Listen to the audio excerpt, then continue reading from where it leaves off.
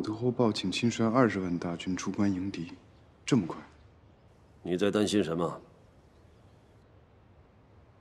武特侯的腿有旧伤，关外春寒料峭，恐不利于行。你倒是真有孝心呐！这一干军需全粮，便要由京师沿官道运至常州，一路上浩浩荡荡，源源不断，不胜不休。兵者凶器也，圣人不得已方用之。此役乃开国百年所未有，我将镇这十数载，一朝倾尽。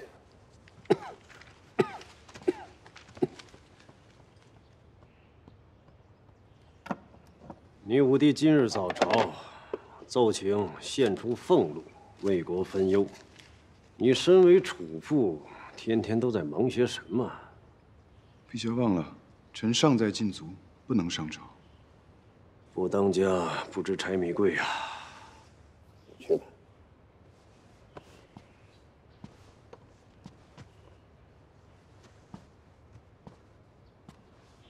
陛下，臣请求解除禁足，去户部行走。你在说什么？臣以为。要居安思危，未雨绸缪。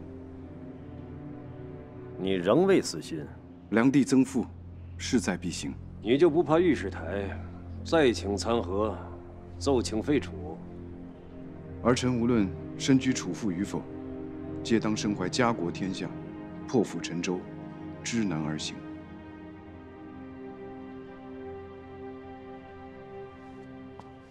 陛下准了。户部行走，迁都梁墨。陈文听今日早朝，赵王奏请献出贡米筹措军粮，这享受贡米的可都是皇亲国戚和朝中大臣。武帝应该也是奉了陛下的旨意，以此逼户部出粮，便如同之前用我的奏章试水，只不过没想到，弄得满朝皆知我这个楚父当的是有多么的失道寡助。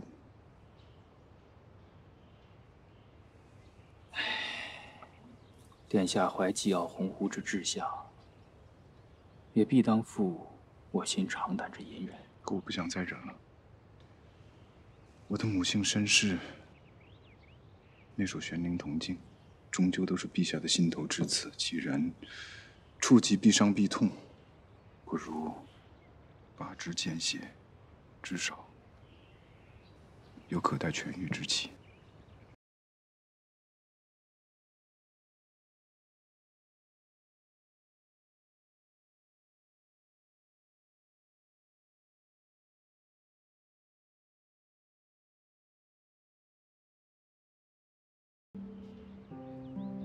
问那小。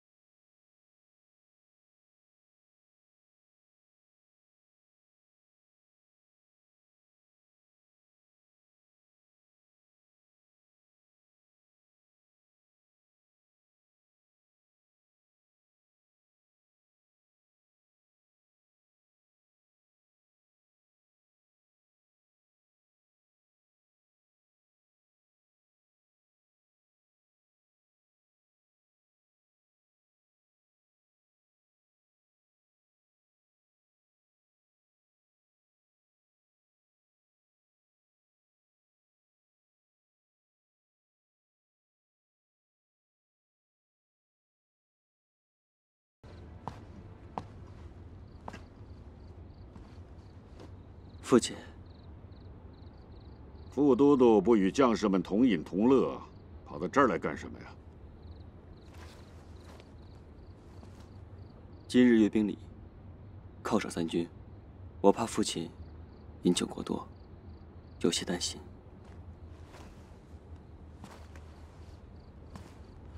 你过来。你看看那颗星，是不是比往年此事要亮了许多？天象不足论道。父亲出关必胜。你亦数次请战，我仍命你留守常州，夺你报恩建功之门。你对为父心中可有怨意啊？孩儿怎么会？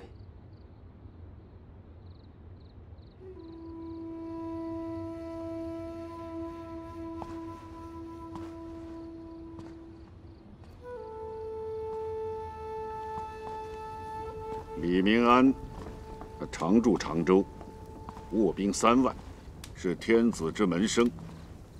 留他独守，我顾家军后路堪忧啊。李明安所辖天长营，此次我带去出征，作为先锋之用，名正言顺的断其一臂。这样，你与他在常州城内各居一隅，成犄角之势。不是一方独大，也免陛下起疑。记住，万事隐忍为先，在为父归来之前，切勿与之产生冲突，以免破坏大局。末将谨记。还有一事，为父本来不想让你知晓，只是此番远征。虽然是胜算在握，但是仍然存在变数，所以要交代清楚，免留一日祸根之源。京师密报，武王定凯为筹措军粮献祭，得朝野盛赞，风头直逼楚父，并公然以画敛财，暗结御史台。赵王，那个喜欢在姑娘堆里厮混的老五。他年近二十，陛下还不为其册立正妃。知藩一事绝口不提，想必又要培植以彻殿下之肘吧。至于陛下，已是故伎重演。但若此人并非俯首甘为陛下所用，其害便不在当年齐王之下呀。父亲，是否要将此事？报与殿下知道，还不到时候。京城来报，此番大军粮秣供给，陛下全权授予殿下主持。我不想在这个时候让殿下分神。楚父不正，一失朝礼，陛下这是要把殿下下于炉火之上炙烤吗？主父本已位极人臣，此役我等若胜。并无半分裨益于他，若败，却是他孤祸之源。思及往事种种，我又何敢惜此项上人头？我何敢与此意有半分差池？我唯有战死沙场，马革裹尸，方才得以上报天恩呢？父亲。说说罢了，你急什么？为父戎马半生，若无胜算，岂能兴兵出关？起来！为父还没有看到孙儿呢，儿媳妇儿快生了吧？该是五月。听说乳名都有了，叫如儿。当初我给你定字为成如，是希望你能承继你祖父，堂堂正正的入仕为官，好好的去辅佐殿下。但没想到，最后还是随了爹爹。都是孩儿不争气，是为父之过。我朝重文轻武，我却偏选了戎马生涯，不但害了你，更害了承恩呐。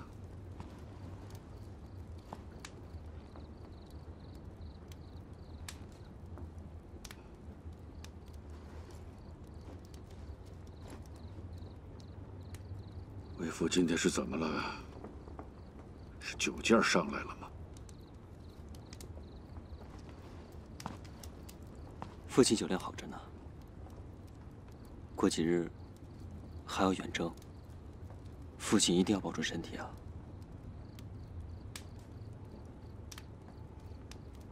傅都督，末将在。随为父呢，下去跟将士们喝酒去。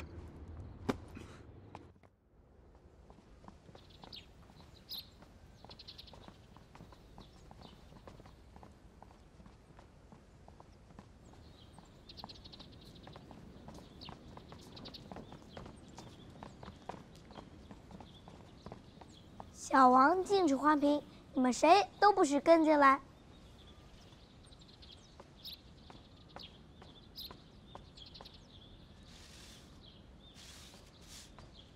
顾才人的院子，这是解禁了吗？谁知道呢？只有主仆两人，比冷宫还不如。唉，嫂嫂，嫂嫂，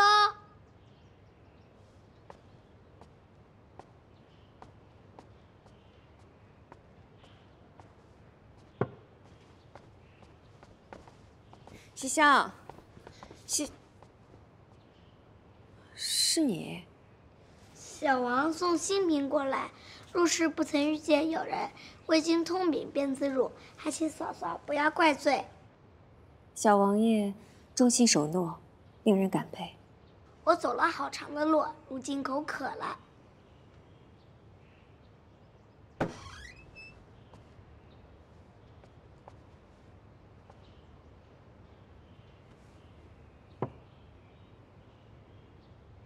还不进来？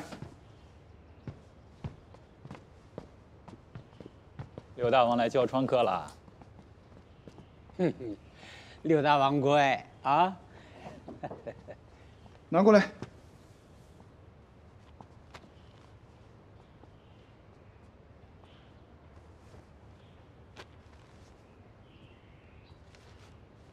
请殿下用木尺责罚。那黄铜正尺，打手实在是太痛。六大王可知，这黄铜镇尺可是御赐，当年太子殿下创克勒黑受罚，也是用的它。可老师说，身体发肤受之父母，不敢毁伤，教之始也。啊！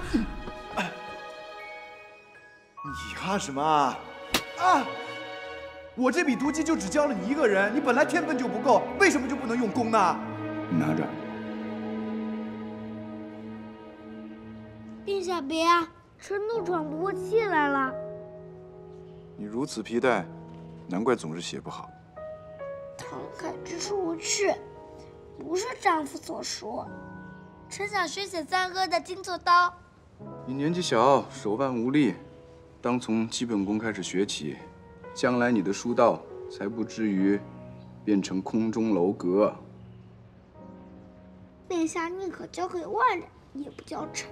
你五哥是外人吗？臣所言并非五哥。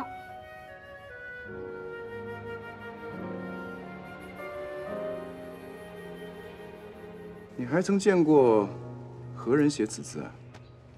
并没有。嬷嬷。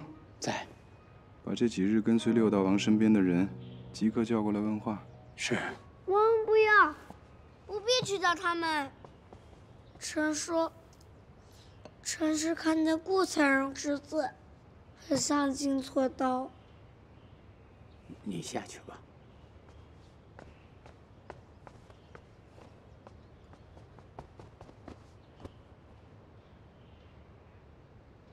讲。平白无故，为何要跑到那里去？那日，那日和五哥去太子陵玩，玩投掷，五哥头一回，我头一回。不知为何，被马竹马投进了顾才人的眼中。谁投进去的？是，是臣，臣投进去的。打碎了贡品，所以所以，你就送了一只与他。你当真胆子不小啊！原来殿下早就知晓，那为何还要问臣？我的后宫禁地，你连闯两回，难道我还问不得了吗？那若是第一回，你你是无心的，那第二回呢？是谁让你去的？你别哭。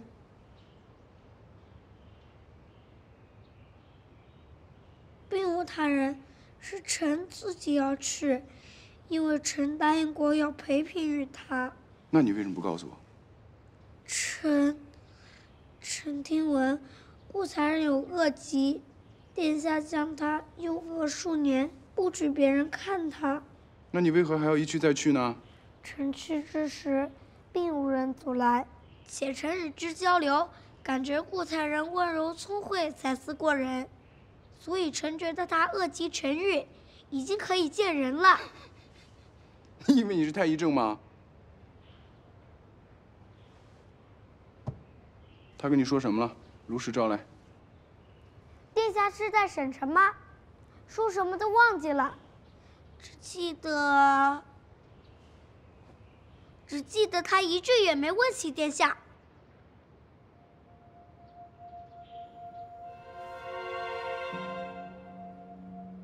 给我跪直了！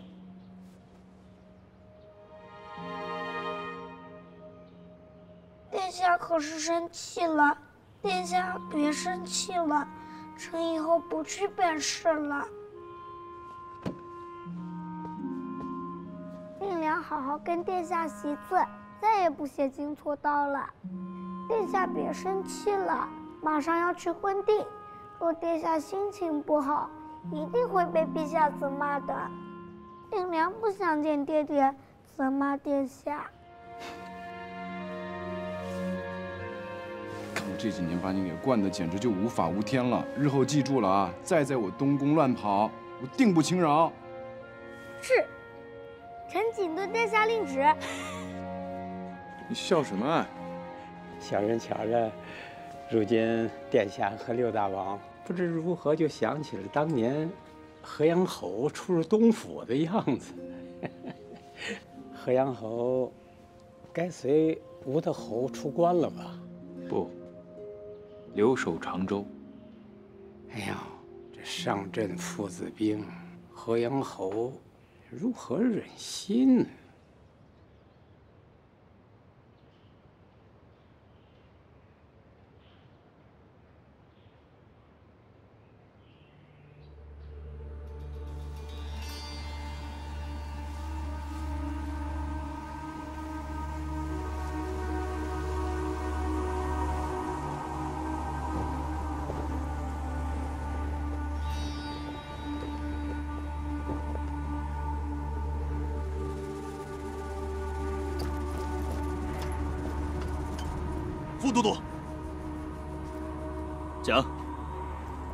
我部因分发粮墨一事，与礼部起了龃龉，双方各有近百军士，在东城门外相持不下，冲突在即呀！走。是。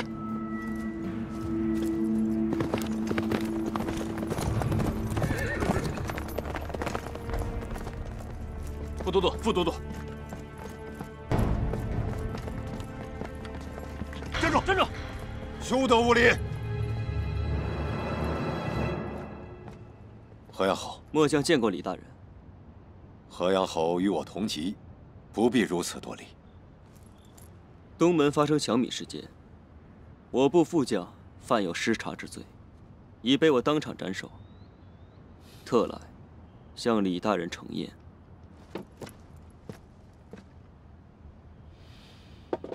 散落的米粒都已减净。颗粒归仓，交由粮秣官严格发放。末将御下不严，特来向李大人请罪，还望大人能将此情据实上报天听。河阳侯言重了。顾家军治军严谨，河阳侯雷厉风行，实在是令人刮目相看。未能防患于未然，便要快刀斩乱丝，否则。风起清平，浪成微澜，便不是抢夺军粮、动摇军心这么简单了。大战在即，天心如此操累，又是太子殿下在督察梁墨，我看这等小事就不要去搅扰陛下和殿下了。此事到你我这里截止。河阳侯意下如何呀？大人既有全权爱君之心，末将自然从命。三年历练，已有令尊之风了。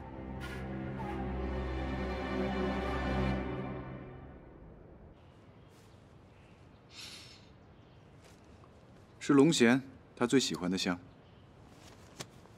臣是否可以告退了？且慢，让你等在这里，就是要一起探讨这信中内容。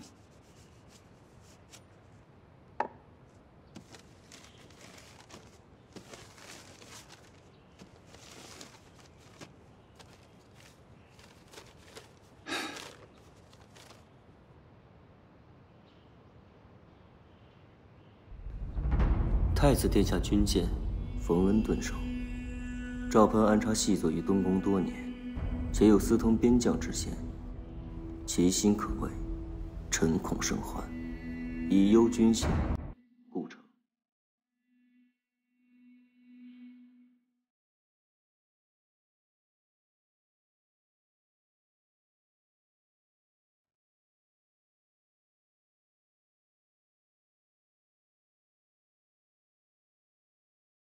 三年前引顾才人进宫面圣者，正是。或许赵王当年已知同胞兄长必败，所以他推波助澜，以求赢得殿下信任。事实证明，他也做到。此番携六大王入太子陵，还是赵王。若非他人唆使靠近，仅凭以总角志通之力，断不会将一支竹竿投入到院墙之内。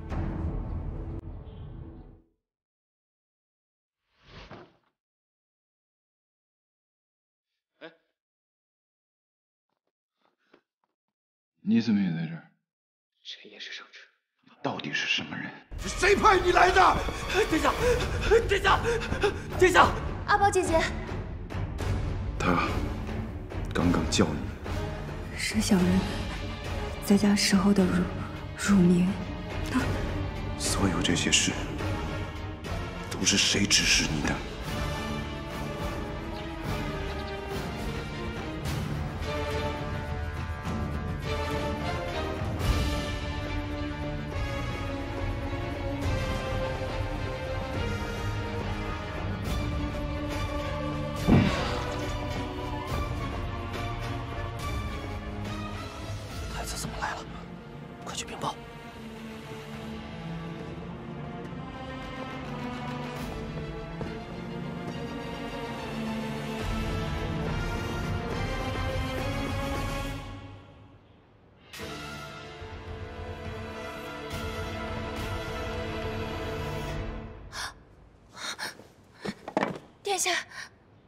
顾才人呢？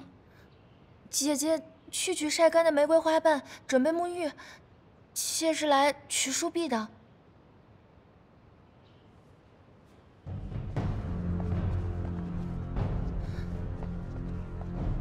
殿下，殿下，您您这是？我要干什么，与你无关，你就在这儿跟我一起等着，不用催醒你家主子了。那妾去奉茶。此时才想起来，便不劳了。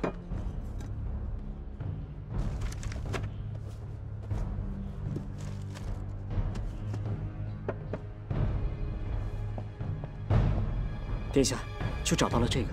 你们先退下吧。是。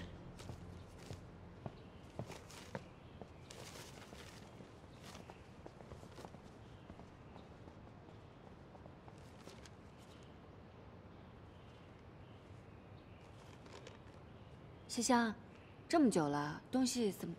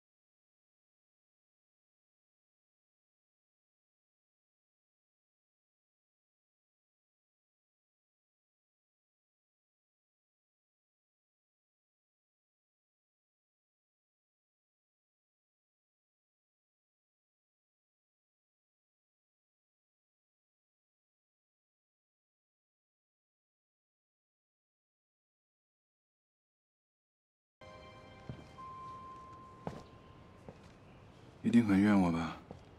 这么久没来看你，妾有恶疾，殿下不弃已是万幸，心中不敢有怨恨。这是看了多少遍才能把一张药方看成这个样子？妾只是随手把它夹在书里，殿下怎么翻出来了？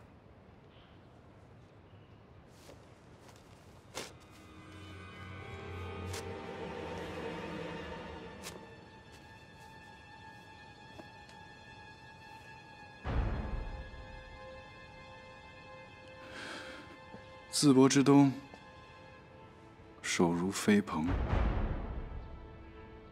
且无高木，谁是为荣？